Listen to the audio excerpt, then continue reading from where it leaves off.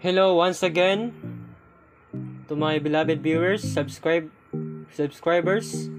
Thank you for watching my videos about simulator. For now, I will have a quick familiarization for our uh, Kongsberg simulator. First of all, how are you? I hope you are okay and safe are COVID free. So now we click the simulator.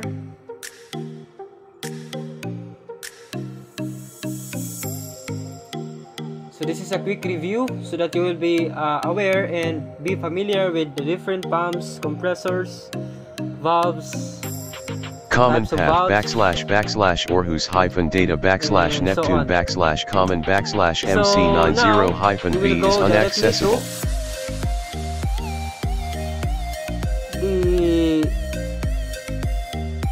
Panel directory and go to description of legends. Legends. So this is the mouse. So if you want to close the bulb just click right click passive close stop then if you want to open then select active open start. Left click. So the colors of our pipelines so this yellow is for the diesel oil, seawater, steam, low temperature fresh water, lubricating oil, fuel oil, heavy fuel oil, high temperature fresh water, gas, passive color. Then for our static symbols, this is the symbol for our filter, heat exchanger, delta, signal line, process line, static decrease, uh, decrease text, positive flow direction, signal direction, turbine driven, electrically driven, shaft driven. So this symbol is for our uh, settings. You want to set it to 100, 10 or 90%. Output, current value. So C stands for constant, D distance power, frequency, flow, heat transfer, current level, mass, speed, pressure, force, pump, temperature, valve state, viscosity, uh, W viscosity, X position, Z signal, cursor, and then, yeah, okay. So this is the light emitting diode, on off, change, blinking, output field, the input and output field are ready. So these are the symbols of our valves. And this is for our pumps. This is the unspecified valve, check valve,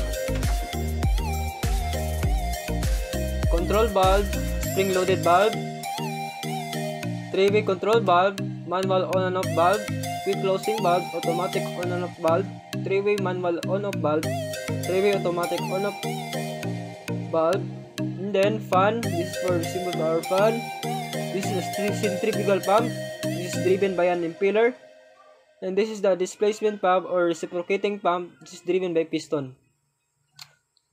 Okay, so that's it. Now we'll go back to process directory. And so these are the color green which have a number. These are the model diagrams. we want to go to 01 model diagram seawater, then you will be directed here at this system. And now, if you want to exit, just press F3. And then if you want to have an operation or have an activity, for example, cold ship or preparation pull ahead, etc. All you need to do is press F5 and you will be directed to operating conditions. So here, you can select operator or instructor. You want to have a sound during while performing, so just click sound. You want, just don't click it. So these are the dynamic response. So how the speed of the uh, how you want the speed of response, dynamic response. If you want normal, then select normal. If you want fast, very fast, very fast, just select it. Just select it. So it's up to you.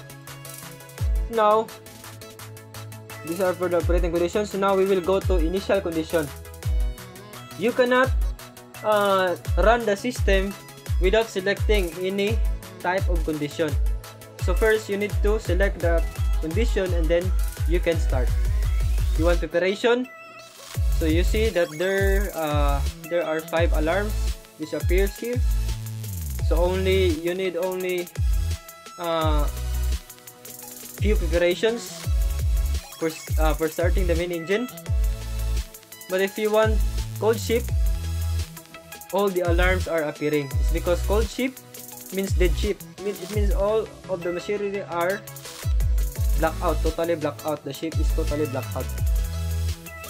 So I suggest you select cold ship because you can learn so many uh, working principles here in your machineries.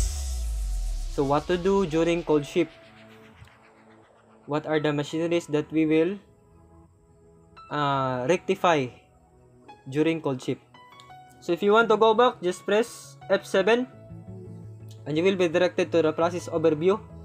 So this is the process process overview. You see the uh, the red red uh, red it means it's the alarms the machineries that are shut down. Our boiler was shut down and chip off. Our cooler were shut down. Lube oil purifier. There's wheels high temperature plus water seawater our generators were shut down. During cold and our main engine were also shut down. So these are the alarms that we must rectify in order to run back the ship. Click process directory, then you will be directed here. Panel directory is for power chip generator control.